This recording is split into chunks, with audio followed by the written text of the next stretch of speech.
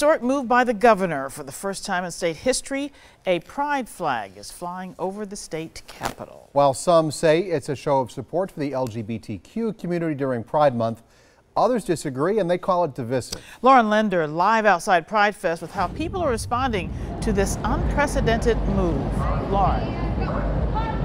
Stephen Carroll. Tonight, the pride flag hangs, flies here right at the Summerfest grounds as thousands celebrate Pride Fest, but it's the one hanging over the state capitol that's causing controversy.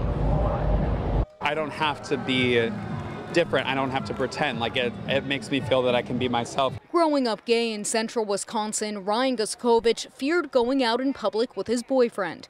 Now to see the colors of the rainbow flying high above the Wisconsin state capitol, he feels accepted, as do other members of the LGBTQ community. It shows equality, and we've been fighting for it for a long time. The move comes after Governor Tony Evers signed an executive order calling for it to be raised for the rest of Pride Month.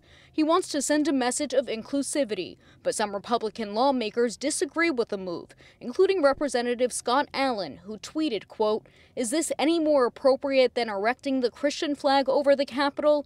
He followed up with a statement calling the raising of the flag divisive because it advocates a behavior or lifestyle that some Wisconsin residents may not condone. Senator David Craig also tweeting, the governor's action is in no doubt a statement to advance a cause. It's not supposed to represent all Wisconsin. The point is to highlight a certain aspect of Wisconsin that doesn't necessarily get that much like outreach. Technically, religious flags can't be flown due to separation of church and state, but the governor has the authority to decide what flags can fly over the Capitol. So under this context, a number of flags could qualify, but on this topic, opinions vary. I couldn't care less if the pole all the way down to the ground was full of flags, because that's all it is. It's a piece of fabric that can make people feel a lot more loved. Raising the rainbow flag isn't the same as like raising one that's for like a special interest group. If it's going to represent positive energy, then do it.